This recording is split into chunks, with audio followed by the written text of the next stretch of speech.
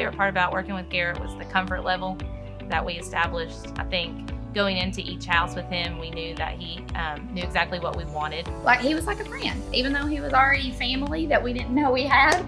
Um, he was like a friend, so that was important to me. He was everything that I hoped he would be as a real estate agent, and uh, just it was a pleasure uh, to do business with him. You know, I really consider him a friend. Man, so.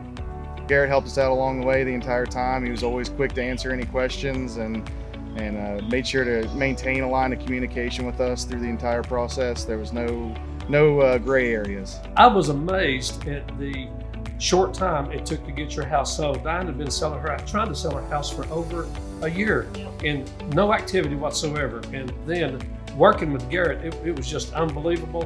What, within one month, you had three offers and you had your choice in which direction you wanted to go? It was totally amazing. Yeah, he came in, bing, bang, boom, and it was gone. Garrett as a person is energetic, determined, professional, intelligent, ambition, successful. He Appreciate will go it. above and beyond what you need.